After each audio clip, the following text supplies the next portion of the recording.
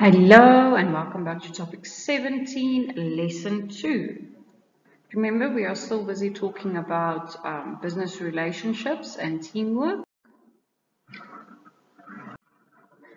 We are going to look at the interpersonal relationships in the workplace. So how we communicate in the workplace with employees and obviously managers.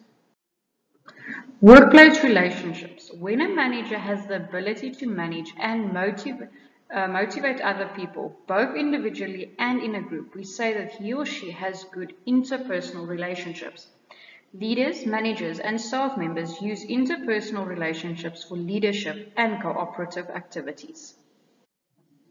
Training can provide necessary skills to improve human performance, such as leadership skills, interpersonal relationship skills, and technological literacy. In other words, you are not limited to what you think you can do. If you think you are not a good leader, you can simply receive some training to become a better leader. And again, if you are not good with technology, you can receive training to help yourself to better in it. Workplace hierarchies or chains of command. It is important for all managers to interact positively and constructively when they give colleagues tasks. In other words, they need to treat them with respect and help them by motivating them. They also need to delegate tasks, attend meetings, and when they discuss targets with other managers or staff, they also need to be positive. The chain of command refers to the line of authority that flows from the top managers of the business to every employee, not just certain ones. Through the chain of command, all employees and managers know who to report to and there is no confusion, which improves decision making and communication. In other words, when employees know who do they need to report to, it is easier. Remember I explained in class that if we want to report someone, we want to report them to the highest person possible. Now, a chain of command is there to ensure that this does not happen. Remember, as the owner of a business or the CEO, you do not have time to sort out employee problems. That is why there is a chain of command so that the other people below them, the managers, can sort out such problems. Levels of management. Okay, this one you guys know, you have been learning it since grade 8, so it's going to sound very familiar. The degree of power and authority that managers possess depends on the level of management they are. First, we have top level management. They are concerned with the relationship between the business and the external environment, external meaning outside the business. Then we have middle level management directly responsible for specific departments within the business. Okay, so this is your financial department or your um, admin, uh, admin manager, etc. Then we have lower level management.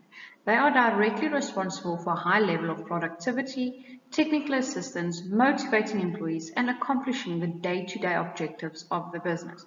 So these people are the ones that are working with all other employees. Managers at different levels require different managerial skills and abilities. First, we have conceptual skills, interpersonal skills, and technical skills. Okay, remember interpersonal, how you communicate, technical, how you work on computers, etc. The importance of each individual in achieving business objectives. Businesses can show employees that they are important by treating all employees with respect. Remember, respect goes a long way. To provide work security and benefits. Okay, so these benefits can be anything from um, medical aid to only working until 2 o'clock on a Friday and work security refers to you do not lose your job very easily and then lastly rewarding all employees with fair salaries. Business can show customers that they are important by ensuring that the prices are fair, delivering quality products and services, and providing after-sales care and advice. Okay, remember, if you think of yourself as a customer, you want the very best. And this is how a business can ensure that customers will return. Businesses can show society that it is important by offering or supporting aids, care and advice, running projects to raise funds for community upliftment. Okay, and again, this is giving back to the community and therefore the community will support the business. Okay guys, please do activity 7 on page 224 for me. Please stay up to date. You are almost back to school and your book needs to be up to date.